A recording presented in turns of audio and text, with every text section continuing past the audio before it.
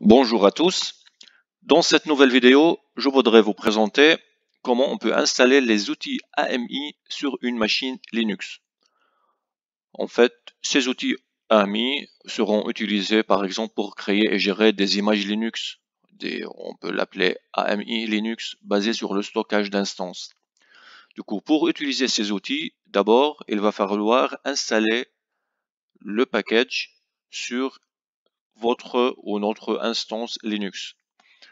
Selon la documentation officielle d'AWS, les outils AMI sont disponibles sous forme de fichiers RPM et .zip pour les distributions Linux. Du coup, moi dans cette vidéo, je vais commencer en utilisant les euh, fichiers RPM. Première chose à faire, je vais utiliser la commande yum pour installer Ruby. yum install-y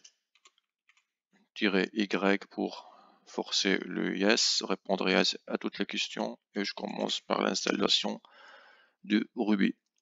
Après, si vous utilisez une distribution Ubuntu, euh, vous utilisez la commande apt-get install.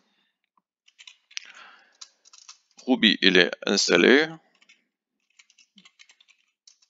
Et c'est binaire, se trouve sous slash usr slash bin slash ruby. Du coup, deuxième chose à faire, il faut télécharger le fichier RPM. Après, vous utilisez la commande curl ou wget. Moi, je vais utiliser la commande wget. Et je vais coller ensuite le lien qui se trouve dans les documentations officielles AWS. Là, pour télécharger, il se trouve, comme vous voyez, dans un bucket S3. Du coup, là, je vais télécharger sur ma machine. Un petit ls pour vérifier. Il est bien là. Troisième chose à faire, en fait, on va vérifier la signature du fichier RPM. Comme on fait RPM. En fait, ça, c'est cette commande est importante elle est importante en fait pour confirmer l'authenticité du fichier. Il faut que l'output sera ou sortie, euh, sortie standard sur l'écran sera OK. Si not OK, c'est pas bon. rpm-k avec le nom grand K pardon avec le nom du fichier rpm. Là, il me dit, il a regardé, il a bien regardé en fait le, les hachages SH1 et MD5, il m'a confirmé que c'est OK. On peut refaire cette commande en ajoutant un petit V à côté du cas, comme ça c'est mode verbose et ça sera plus compréhensible. Quand vous regardez là, pour le hachage SH1, c'est OK. Il confirme qu'on a le même euh, authenticité de fichier et pareil, pour le MD5, c'est OK. Maintenant, je nettoie mon écran. Je vais installer du coup maintenant. On a bien vérifié que tout est OK. Du coup, sudo yum install et je tape le nom du package ec2-am ec2-ami-tools noir.rpm et là on va l'installer. On répond par Y. Complete, vous pouvez voir, installed le node package complete. je nettoie mon écran. Et là, on va vérifier la version. Et là, il y a une forte chance que va donner une erreur. On va vérifier. S'il y a une erreur, c'est mieux. Comme ça, je peux vous montrer comment on peut le corriger. La version, c'est ça. C'est erreur. Il parle que, il dit que ce fichier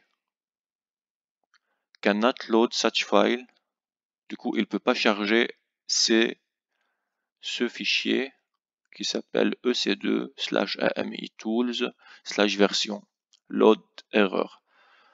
Du coup, pour régler ce problème, en fait, il faut que on ajoute un emplacement d'installation de l'outil AMI dans le chemin d'accès Ruby lib.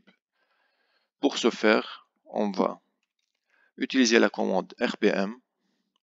On va ajouter un petit un tiret, un petit q, c'est pour querying, il,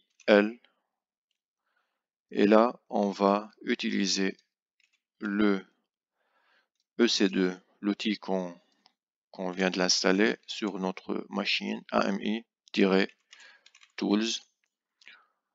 Ensuite, on fait une pipe grep EC2 comme il a demandé là, en fait, EC2, AMI, EC2, pardon, c'est slash AMI tools slash version. Et là, je peux récupérer les deux emplacements qu'il le demande. lib dans librairie version.rb et dans le lib 64, même chose, version.rb. Du coup, ce qu'il faut faire maintenant, on a repéré en fait, on peut dire, le fichier manquant à partir de l'erreur de chargement précédente et situé aux emplacements slash usr slash lib slash ruby slash site underscore ruby et l'autre erreur c'est slash usr slash lib64 slash ruby slash site underscore ruby. Du coup, là, on va exporter avec la commande export une variable d'environnement. On va taper ruby, on va l'appeler le variable ruby lib, tout est en majuscule, un petit égal, on va l'appeler ruby lib. Et là, je vais ajouter le chemin de usr slash lib slash ruby slash site underscore ruby.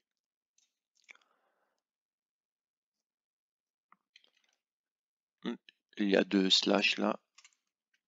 Du coup, et je vais ajouter aussi la deuxième emplacement qui est slash usr slash lib64 slash ruby slash site underscore ruby son slash. Et là, avec cette commande, on va exporter le variable. C'est bon. Après, si on peut vérifier, echo ruby lib, il va me donner sa valeur. Ce sont les deux chemins. Et là, on peut du coup vérifier l'installation de l'outil AMI juste avec la commande, comme on a fait tout à l'heure, AMI tools version. Et là, pardon, EC2 underscore. Et là, c'est bon. Et cette fois, tout est OK. L'installation est OK. Comme on peut regarder, EC2 AMI Tools utilise la version 1.5.7. Merci beaucoup, j'espère que cette vidéo vous aura plu. Merci, au revoir.